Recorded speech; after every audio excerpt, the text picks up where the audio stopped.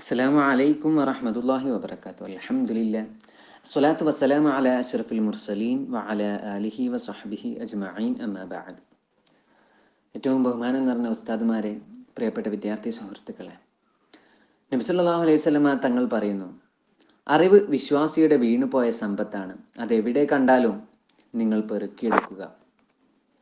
ഇസ്ലാമിക ദൃഷ്ട്യ വിദ്യ ഒരു മഹാധനമാണ്. വിജ്ഞാനം നേടിയവർക്കും വിജ്ഞാനം തേടുന്നവർക്കും മതം ആദരണീയമായ സ്ഥാനമാണ് കൽപ്പിക്കുന്നത്. മനുഷ്യര് അള്ളാഹുവെ കൂടുതൽ ഭയപ്പെടുന്നത് വിജ്ഞരാണ്.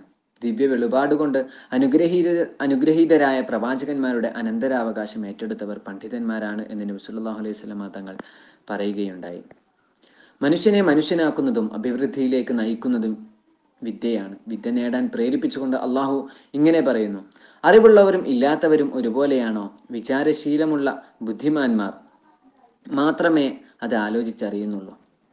ബുദ്ധിശക്തിയും ചിന്താശേഷിയുമാണ് സൃഷ്ടികളിൽ മനുഷ്യ നിന്ന് മനുഷ്യനെ വ്യതിരിക്തനാക്കുന്നത്. വിജ്ഞാനം അന്വേഷിക്കാനും വിവേചിച്ച് കാര്യങ്ങൾ തീർപ്പിലെത്താനും മനുഷ്യന് സാധിക്കുന്നു. മനുഷ്യൻ തന്റെ ദിശന പ്രയോഗിക്കുമ്പോൾ നൂതനമായ കണ്ടുപിടുത്തങ്ങളിലൂടെ ഭൗതികമായ പുരോഗതിയും നാഗരികമായ വികാസവും സാധ്യമാകുന്നു. ഒരിക്കൽ അടിപേടിച്ചു പഠനം നിർത്തിയ മകനെ പണ്ഡിതനായ ഒരു പിതാവ് ഉപദേശിച്ചത് കാണുക. മോനെ അല്പകാലത്തെ ശിക്ഷ ഭയന്നാണ് നീ പഠനം ഉപേക്ഷിക്കുന്നതെങ്കിൽ നീ ചെയ്യുന്നത് വിഡ്ഢിത്തമാണ്. കാരണം പഠനം നിർത്തിയാൽ അന്നും അതുമുതൽ ജീവിതാന്ത്യം വരെ നിനക്ക് ശിക്ഷ അനുഭവിക്കേണ്ടി വരും. കാരണം അറിവില്ലായ്മയാണ് ലോകത്തെ ഏറ്റവും വലിയ ശിക്ഷ. പ്രമുഖ വ്യവസായിയും മോട്ടിവേറ്ററുമായ ഹെൻറി ഫോർഡിന്റെ വാക്കുകൾ ശ്രദ്ധിക്കുക. നിങ്ങൾക്ക് പ്രായം ഇരുപതോ എൺപതോ ആകട്ടെ. നിങ്ങൾ പഠിച്ചുകൊണ്ടേ ഇരുന്നാൽ നിത്യ യൗവനം നിലനിർത്താം. നിങ്ങൾ എന്ന് പഠനം നിർത്തുന്നുവോ അന്ന് നിങ്ങൾ പ്രായമായവരും ഒന്നിനും കൊള്ളാത്തവരുമായി തീരും അദ്ദേഹത്തിന്റെ ഈ വാക്കുകൾ ഈ വിഷയവുമായി ബന്ധപ്പെട്ട് നമുക്ക് ഉൾക്കാഴ്ചയും പാഠങ്ങളും പകർന്നു നൽകുന്നതാണ്. പ്രശസ്ത അമേരിക്കൻ എഴുത്തുകാരനും പ്രഭാഷകനുമായ ലിയോ ബുസ്കാലിയ വളരെ വിലപ്പെട്ട ഒരു ജീവിതാനുഭവം പങ്കുവെക്കുന്നു. അദ്ദേഹത്തിന്റെ കുട്ടിക്കാലത്ത് ഒരു കീഴ് അദ്ദേഹത്തിന്റെ വീട്ടിൽ ഒരു കീഴ്വഴക്കമുണ്ടായിരുന്നു. കുടുംബാംഗങ്ങൾ എല്ലാവരും ഒരുമിച്ചിരുന്ന് അത്താഴം കഴിക്കണമെന്ന് അദ്ദേഹത്തിന്റെ പിതാവിന് നിർബന്ധമുണ്ടായിരുന്നു. അത് മാത്രമല്ല അത്താഴമേശയ്ക്ക് ചുറ്റും എല്ലാവരും ഇരിപ്പുറപ്പിച്ച് കഴിഞ്ഞാലുടൻ പിതാവ് എല്ലാവരോടുമായി ചോദിക്കും ഇന്ന് നിങ്ങൾ എന്ത് പുതിയ അറിവാണ് നേടിയത്? അപ്പോൾ കുടുംബാംഗങ്ങൾ ഓരോരുത്തരായി അന്ന് പുതുതായി നേടിയ ഒരറിവ് അവിടെ പങ്കുവെക്കണം. മറ്റെല്ലാവരും അത് ശ്രദ്ധിച്ചു കേൾക്കണം. എല്ലാവരും ഇപ്രകാരം ചെയ്ത ശേഷം മാത്രമേ അദ്ദേഹം ഭക്ഷണം കഴിച്ചു തുടങ്ങാൻ അനുവദിച്ചിരുന്നുള്ളൂ. അഥവാ ആരെങ്കിലും പുതുതായി ഒന്നും പഠിക്കാതെയാണ് വന്നിരിക്കുന്നതെങ്കിൽ അദ്ദേഹം അവരോട് എഴുന്നേറ്റ് പോയി ലൈബ്രറിയിൽ ചെന്നിരുന്ന് എൻസൈക്ലോപീഡിയ തുറന്ന് എന്തെങ്കിലും പുതിയ കാര്യം വായിച്ചതിന് ശേഷം മടങ്ങി വരാൻ ആവശ്യപ്പെടുമായിരുന്നു. അല്ലാത്ത പക്ഷം ആ വ്യക്തിക്ക് അന്ന് അത്താഴമില്ല. കുട്ടിക്കാലത്ത് ലിയോക്കും സഹോദരങ്ങൾക്കും ഇത് വലിയൊരു പീഡനമായാണ് അനുഭവപ്പെട്ടിരുന്നത്.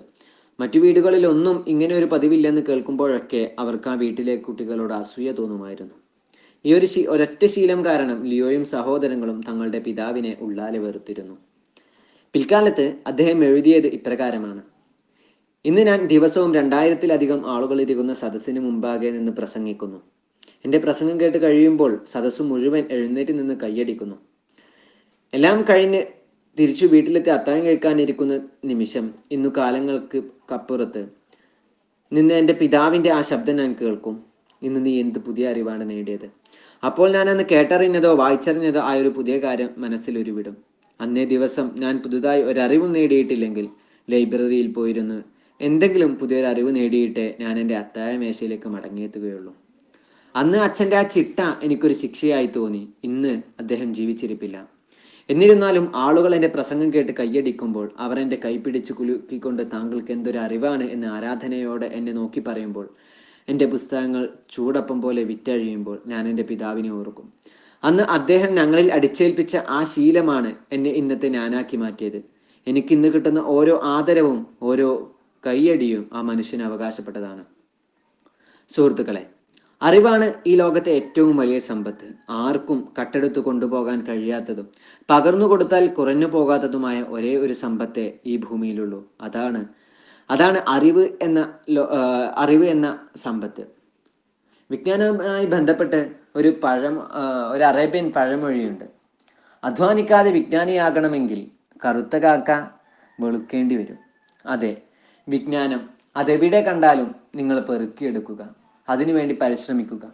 നാഥൻ നമ്മെ ശരിയായ വിജ്ഞാനവാഹകന്മാരിൽ ഉൾപ്പെടുത്തുമാറാകട്ടെ.